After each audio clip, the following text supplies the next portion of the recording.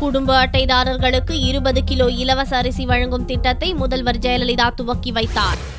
அதிமுக தேர்தல் அறிக்கையில் ஆட்சிக்கு வந்தால் வறுமை கோட்டுக்கு கீழ் உள்ளவர்களுக்கு ரேஷனில் இருபது கிலோ அரிசியும் அந்தியோதியா அன்ன யோஜனா அட்டைதாரர்களுக்கு மாதம் முப்பத்தி ஐந்து கிலோ அரிசியும் இலவசமாக வழங்கப்படும் என்று அறிவிக்கப்பட்டிருந்தது. தேர்தலில் அமோக வெற்றி பெற்று ஆட்சிக்கு வந்துள்ள முதல்வர் ஜெயலலிதா தேர்தல் வாக்குறுதிகளை நிறைவேற்றுவதில் தீவிரம் காட்டி வருகிறார். தேர்தல் அறிக்கையில் அளிக்கப்பட்ட வாக்குறுதியின்படி இலவச அரிசி வழங்கும் திட்டத்தை முதல்வர் ஜெயலலிதா துவக்கி வைத்தார். சென்னை ஆழ்வார்பேட்டையில் உள்ள நியாய விலைக் கடையில் இத்திட்டத்தை துவக்கி வைத்த ஜெயலலிதா பயனாளிகளுக்கு இலவச அரிசியை வழங்கினார். இத்திட்டத்தால் மாதம் முழுவதும் தங்கள் குடும்பம் பயனடைவது மகிழ்ச்சி அளிப்பதாக பயனாளிகள் தெரிவித்தனர். எங்களுக்கு இலவசமாக இருபது கிலோ அரிசியும் தாழ்த்தப்பட்டவங்களுக்கு முப்பத்தஞ்சு கிலோ அரிசியும் இலவசமாக வழங்குறாங்க.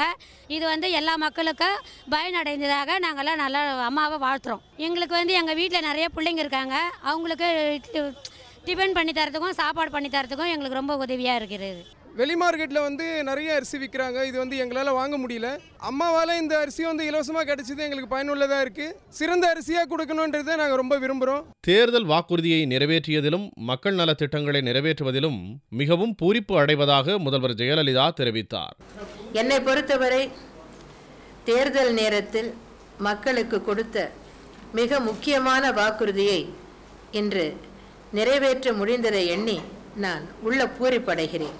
இத்திட்டத்தின் கீழ் ஒரு கோடியே அறுபத்து ஐந்து லட்சத்து தொன்னூற்று ஓராயிரம் பேரும் அந்தியோதயா அன்ன யோஜனா திட்டத்தின்படி பதினெட்டு லட்சத்து அறுபத்தி இரண்டாயிரம் பேரும் பயனடைவர். மாதம் முழுவதும் எந்த நாளும் இலவச அரிசியை பெற்றுக்கொள்ளலாம் என்றும் தேவைக்கு ஏற்ப அரிசி இருப்பு வைக்கப்பட்டிருக்கும் என்றும் ஜெயலலிதா கூறினார். பொது விநியோக திட்டத்தில் முந்தைய திமுக ஆட்சியின் போது நடந்த முறைகேடுகள் முழுவதுமாக தடுக்கப்படும் என்றும் ஜெயலலிதா தெரிவித்தார். இப்போது மக்களுக்கு எப்போது சௌகரியப்படுகிறதோ அப்போது அவர்கள் நியாய விலை கடைகளுக்கு வந்து தங்களுக்கு வேண்டிய பொருட்களை பெற்றுக்கொள்ளலாம் these malpractices have taken place only during the DMK regime whenever the DMK has been in power.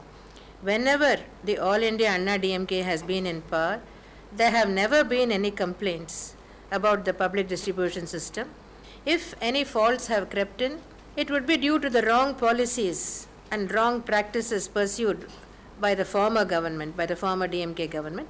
We will take immediate steps to redress any shortcomings in the public distribution system. இந்த நிகழ்ச்சி ஆடம்பரம் இல்லாமல் எளிமையாக நடந்தது இனி அரசு விழாக்கள் அனைத்தும் எளிமையாக நடக்கும் என்றும் ஜெயலலிதா கூறினார் இந்நிகழ்ச்சியில் உணவுத்துறை அமைச்சர் அக்ரி கிருஷ்ணமூர்த்தி மற்றும் தமிழக அமைச்சர்கள் அரசு அதிகாரிகள் கலந்து கொண்டனர்